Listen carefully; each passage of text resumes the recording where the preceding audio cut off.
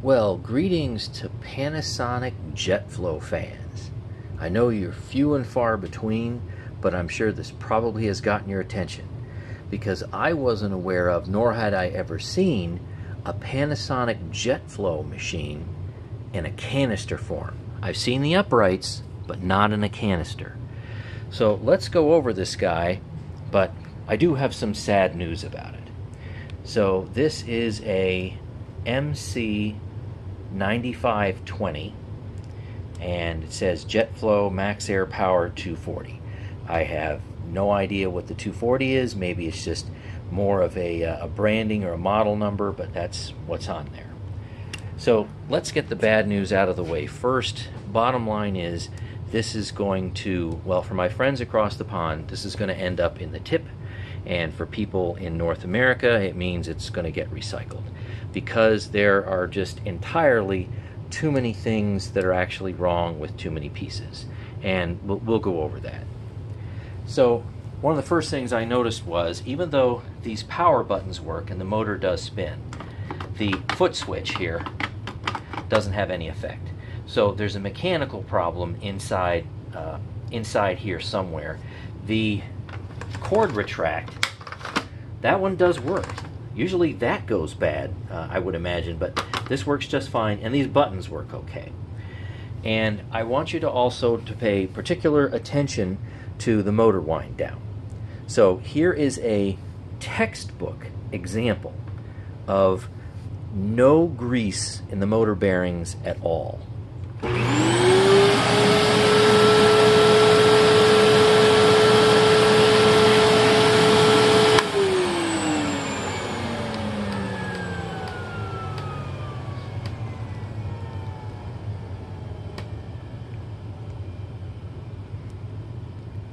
And because my air conditioning is running, you can't really hear, but it's still winding down.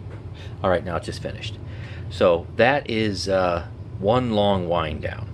Uh, it's not the end of the world. I could rebuild the motor, but uh, this machine's probably 35 or 40 years old, I, I would guess. And uh, that's not really where I want to go just yet. So another problem I noticed is that we do have a working hose to a degree, except unfortunately for the electric. So this canister end right here is just fine. The electric uh, connections appear to still be in, in good shape there.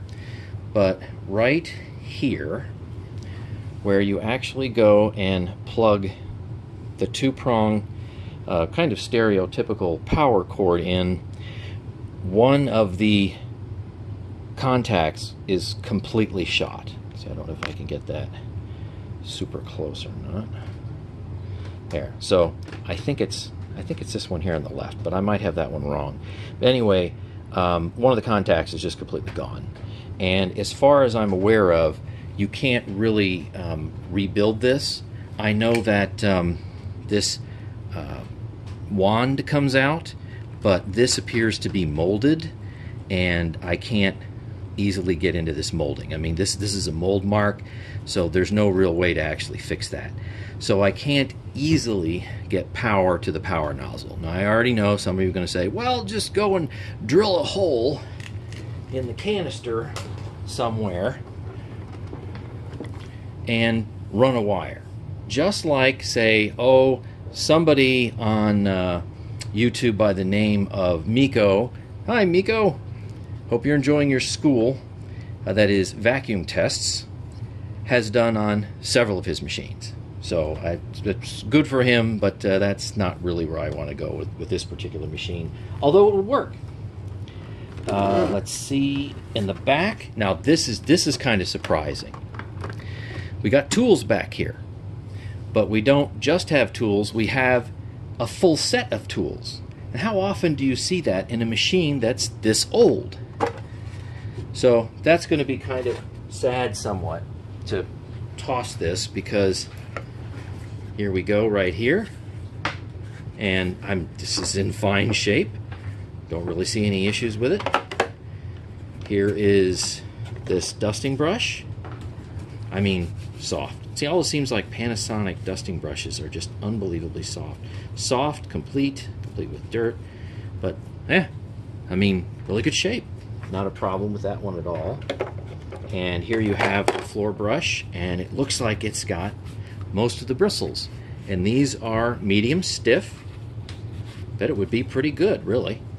Fairly clean. Honestly, they look like they've had just very little use. And then here's an upholstery tool. Now this one's had some use, but it's it's complete. And I, I am somewhat saddened, somewhat disheartened that got a hair in there. That uh, these will kind of go away. I don't think they're going to fit on anything else, mainly because of this this detent right in there. So yeah, unfortunately, I just don't think there's there's anything I can I can really do with them. That's just uh, I mean that, that's just what's going to happen, un unfortunately. But a full set of tools. Uh, here's the aforementioned cord winder, and it works just fine.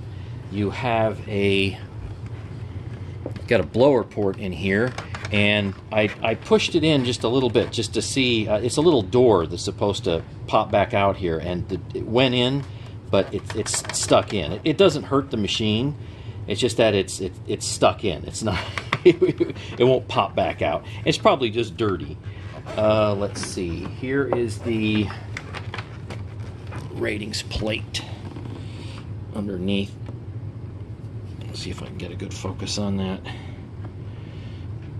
there you go. For those for those fans who want to see that. I don't know if that's focusing all that well, but there you go. Probably the best I can do at the moment. And I was able to figure out what to do with a bag. So I found out that Riccar uh, bags that actually fit, all right, maybe I should say simplicity, um, this bag here fits in my simplicity. And now I forget offhand if this was a, an A or A or a B. I think I think this was this is a I think, I think this is an A. Might have that backwards though. But anyway, this fits in my uh, simplicity. It's an EnviroCare brand, and it uh, fits in the bag holder well enough that I can close the top of the vacuum. And you can probably see that I have replaced the standard foam filter, which I cleaned out and uh, destinkified, so it actually smells and uh, probably works okay. But I went ahead and used some just vent filter material and uh, cut a piece. Works just fine in there. And if you know what, if a single ply, if a single layer isn't good enough for you, you can always double it up. I mean, it's it's real simple. It's real cheap. I just use vent vent filter material. It's meant to filter air, and you can adjust it for whatever you like. So this collar fits well enough that I can close the bag door and I've cleaned all the seals all the way around here. So we'll do a couple of airflow and suction tests before we send it on its last trip. And about the suction tests, there is a limitation.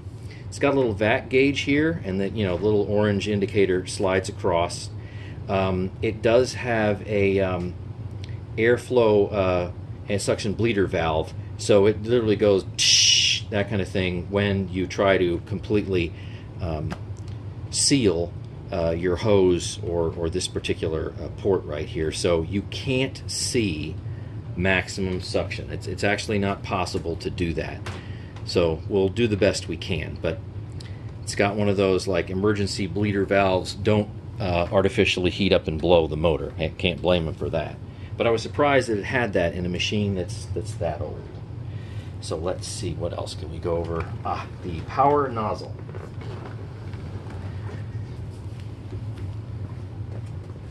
The power nozzle technically does work, but it's got it's got some issues Let's see if I've got a decent view here. So let me change views and get a little closer. So zooming in on the power nozzle, of course you always have to get, with used vacuums, the ubiquitous broken belt. I mean, you just you just have to expect that. Ah ha ha. So, all right, fine. It's easy to get another belt. That's that's not that difficult. Here's a belt guard that's actually in pretty good shape. And unlike my new TriStar twins, I actually have all of the two screws necessary to hold the really wonderful um, aluminum rug plate on there. I mean, it's in suspiciously good shape for something that is this old. I mean, really, look, look at that. That's that is suspiciously good, good condition. And it's here's a uh, little rubber squeegee. It's in there, and that's in suspiciously good condition too. It obviously has some scratching in there, but this this is in really good shape. Uh, it's got a big dent right there, but you can pound that out. The foam, uh, the weather stripping isn't in that bad a shape. You could probably use it as is. Not perfect, but you know, what the heck. And here is the power nozzle itself. The on-off switch does work, and the motor does work. Uh, definitely needs some, some help, though. It's mm, sounding like pretty dry bearings in there as well. I might run it for a second, but uh, it gets kind of loud. So all the wheels are there. Uh, nothing's really chewed up in one way or another. The little pigtail is in good shape. And like, uh, like I mentioned earlier, uh, I've tried this. I actually plugged in the back of a TriStar to give me some power. And um, this works just fine. So no issue, no issue with that. I just wish the hose end was in good shape. So now let let's talk about the brush roll. Because this was funny. In fact, I guess I went ahead and decided to go ahead and make this video because what I found was so funny. I just, I had to show you all this because just it was hilarious. So here's this nice, lovely brush roll that looks very, very similar to what I have in my Riccar 8850 and Simplicity Symmetry. The big primary difference is it's longer. So I can't use any of these pieces or this brush roll itself in either one of those two machines because it's it's far too far too long. So when I initially got this, I tried to spin it. I took it out of the, the, the power nozzle there. And it didn't really spin very well. So I figured, well, yeah, you know it's going to be caked with hair. I mean, you just know that. And maybe even bearings. This thing has bearings on either end. And if I'm remembering right, um, well, at least in um, some of my other machines that have this kind of brush roll, had two in here and then and then one over here. But it's got it's got bearings at least on both ends, and I can rebuild those. That's that's not uh, that's just again more labor they don't want to do. But I mean, if you wanted to do it, it's not an issue. So pop the little clip off here and took this end cap off of this end and we have some hair. All right, so this is kind of like the normal amount of, of hair that you get. I mean, really, this is this is pretty typical. So I'm like, eh, so what? No big deal. And then I pulled this axle out and look what came out. And I, I just, I see it, even though I've done this a few times, I see it again, and it's just the funniest thing I've ever seen. I thought this was some kind of a, like maybe felt gasket material, and it was crunched down like this. I figured that it could, it couldn't possibly be hair, and yeah, it's hair. I mean, you've got, you must be kidding me. It's, it's, it's just hilarious. So look at this.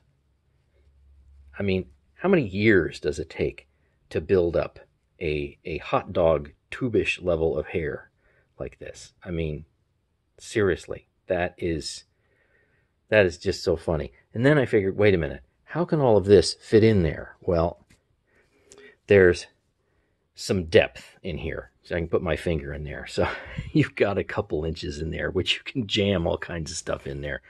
But that's that's just so funny. So anyway, when I put everything back together again, I was able to determine, and you can see, uh, there, you can see one of the bearings in there. see if I get the right lighting. But it has a, uh, a rubber end cap, and it's, it's actually pretty easy to rebuild. I, or you can just replace it, so, you know, whatever, whatever it is you want to do. So if I go and I put this back together again, the brush roll actually does spin somewhat. Before it, it barely it barely did anything. But now yeah, it, that that's not too bad. That, that's not too bad at all. But I can still feel an awful lot of resistance, and I'm sure I probably need to go and do something do something with those bearings because even though it, was kind of going like this, I mean that's all it would that's all it would twist, and now it does this, so I have to rebuild the bearings in there. So uh, I'm I'm kind of less than than thrilled with that. And on the power nozzle, I did forget to show you something else. Yeah, right. Where are we? Right. Let's see. Right here. So unfortunately, it's got a crack. It goes right along here, and it, and it does go. It does go all the way through. Unfortunately, let's see if I can. There you go. You can see, see it a little better now. I think. So yeah, it's got a crack in the in the body. So uh, all these things added added up, and I've got enough, unfortunately, like say repairs and Kirby shine ups and bearing replacements and whatnot to last me probably the next year. So I just really didn't want to dive um, whole hog into a machine um, like this. So sorry if I made you mad uh, saying that this will end up getting recycled, but that's just what I've decided to do. Um, I've let the the gracious donor Alan O uh, know. We had an extensive conversation about it, and uh, that's that's basically what we decided that was best for this machine. So, without further ado, I think I've covered all the problem areas. Let's do uh, some airflow and suction tests as best we can, but I don't think I'm going to actually put this nozzle on the airflow box. It takes a while to set all this stuff up. So I think we'll just do the canister itself and then we'll do the hose end and we'll probably call it quits and just kind of guess what the power nozzle would actually do. So let me just show you that the uh, somewhat now hair-free and dust-free brush roll with a little temporary belt on there actually works. I have it rigged up through my Electrolux canister. So one final test run.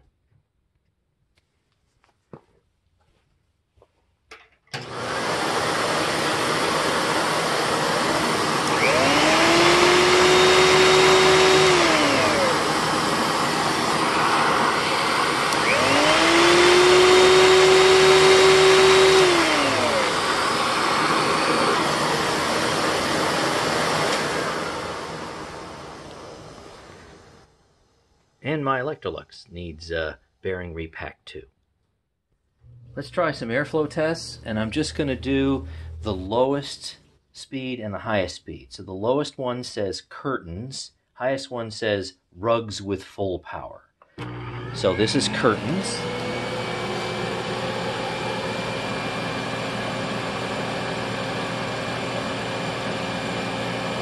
And it's running about five point, it's heading down to about 5.3 amps. And my test voltage is 121 volts. So that's what we got. Let's see, 2165. Okay, so we're at 56 and a half canister CFM. Now let's go all the way up to high.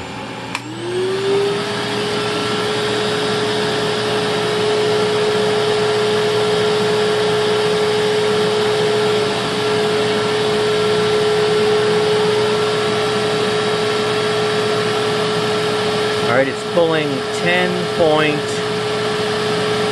10.7 amps on high.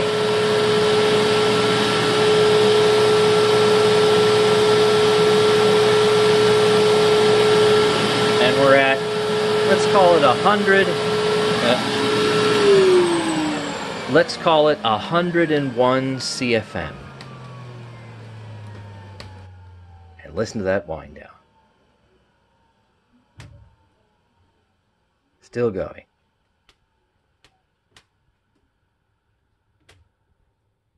And it finished. Oh boy, what a wind down. Okay, let's take a look at let's take a look at the suction. well, what I can possibly capture of it anyway. Let's run through the power settings from low to high. There's four of them. And when you get up to the highest one, rugs with full power, you're going to see the vac gauge actually slide across to your left and you'll hear the little relief valve blow.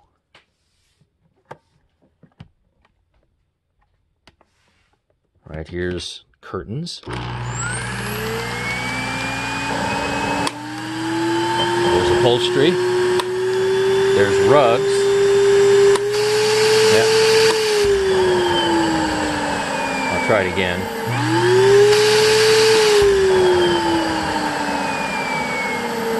So I know it would exceed 60, but I don't know how much further it would actually go. And yeah, I can go and disable this and uh, probably have it swing over to maybe 70 or something like that. But that's what the original design apparently was for. All right, so let's move on now to some hose tests. So let's see what we can manage to get out of the end of the hose. Now, I turned this thing on to do a pre-test, and this is actually what was still stuck in that hose right here. I mean, that's hilarious. I heard ka-tink thump and checked the bag and we got a rusty nail and some insulation. So isn't that entertaining?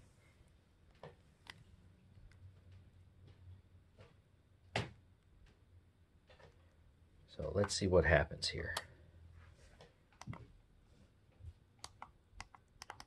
It's always fun doing this upside down. And here's this. And I know here's a little airflow suction relief valve. I'll make sure that that's set properly.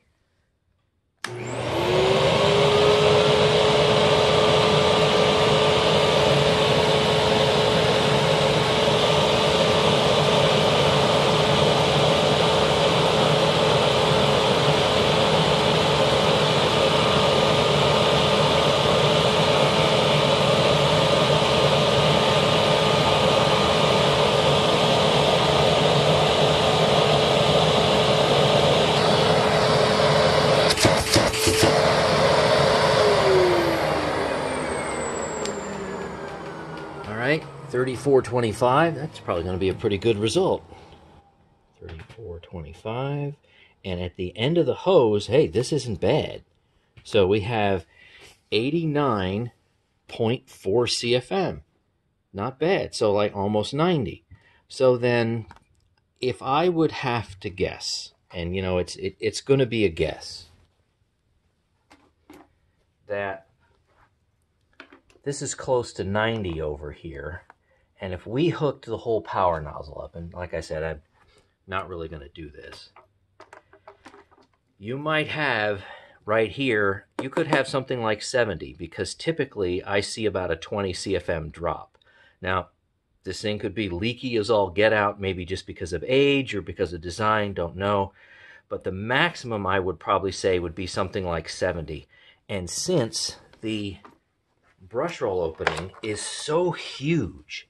I mean, that is that is sizable. I could see that not being that difficult to actually push simply because I mean, the opening is, well, it's Kirby sized. So if it did have 70, probably wouldn't be that bad to push. And of course, if it had lower than that because just it's a big leaky mess, then, well, it would be probably super easy to push. All right, so thanks for watching this swan song video with the Panasonic JetFlow canister. So never seen one before, and there's probably a good chance that I'll actually never see one again. Well, it's somewhat of a post-mortem to the Panasonic motor. So I've pulled the internals, obviously, and let's take a look at these bearings right here. Now, I know there's no way you can really uh, feel this across YouTube or really even hear it, but I can tell that the bearings definitely are uh, in mighty rough shape. So I haven't had a chance to use my bearing puller in a while, so I figured, oh, why not? Let's see if I can get this bearing off.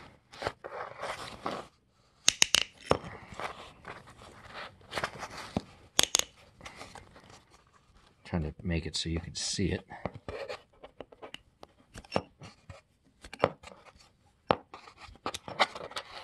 So there's one. hey, look at that. It wants to roll. About that? Round things like to roll. Okay, and there we go. So it is a, let's see what we got here. 629Z. Well, let me change the focus.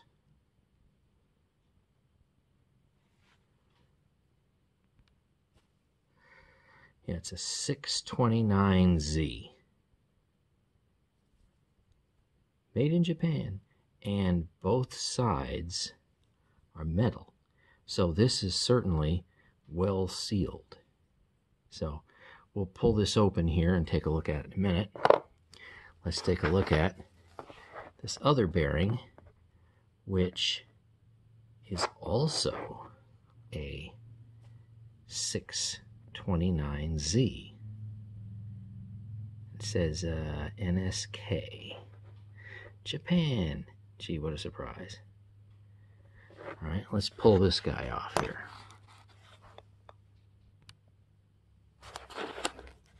Let's see if I can use similar settings.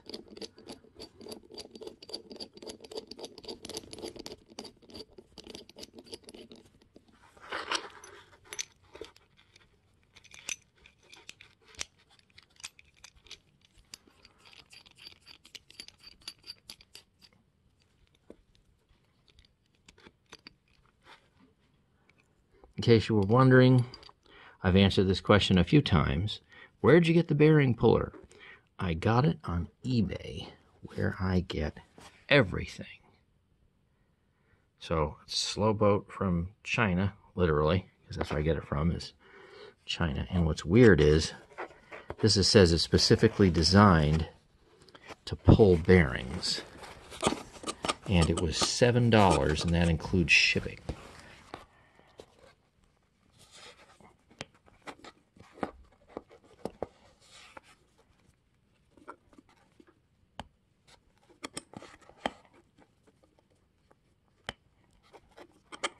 It looks awkward, it feels awkward because I'm trying to do this in such a way that you all can can see this.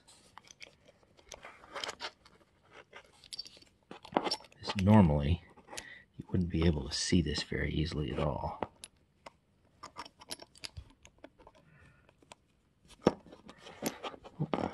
Get a little loose here.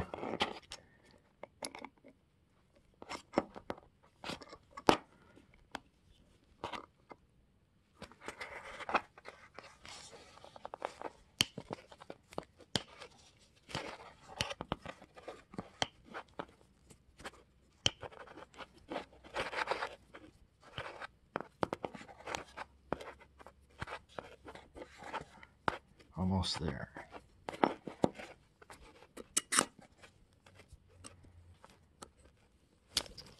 And there we go.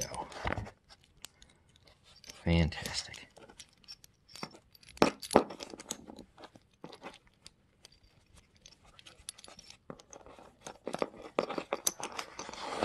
Okay. So we're looking at the focus again. Yeah, another 629Z. Hope you can see that. So now, let's see how much grease is left in it. This is in pretty good shape. This, this really isn't that bad. And in case you wondered, here are carbon brushes and plenty of length left in them. So this is just what typically happens to motors like this over a long period of time. Bearings simply get used up, dried out, so to speak. So let's see if I can get these guys open.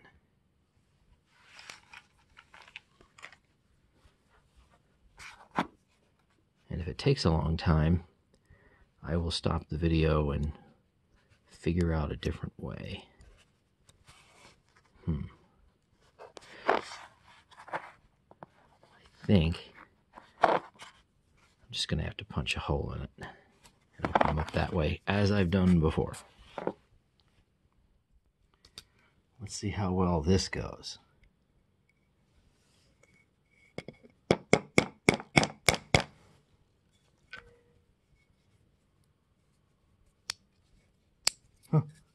Not too bad. yeah, look at that. Look at that. Grease? No grease. Nothing even worth mentioning in there. Now let's see what the other side's like. And of course, since I punched a hole in the in the cover, um, there's no way to to save this. So you would just put new ones in, of course. And these are common. They probably even cross-reference to a new number now.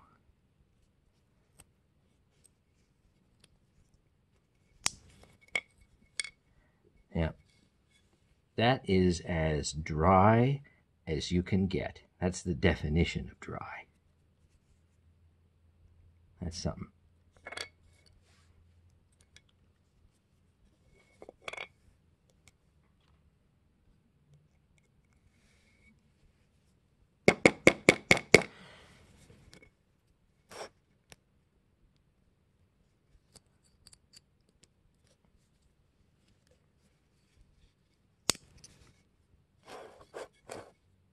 Yep, same thing. Completely, utterly dry. And there's the cap. So there's just, there's like a, a little yellowish goo or light brown goo right here. So you look at that. Yeah, that's not worth even mentioning.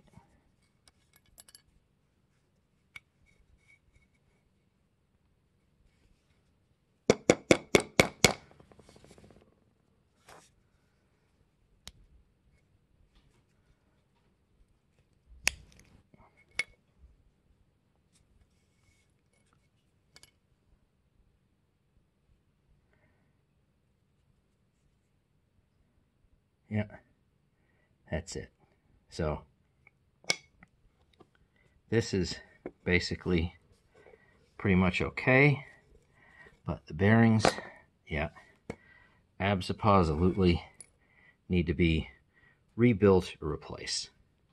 So thanks for watching. Stay tuned for more, but not with this machine.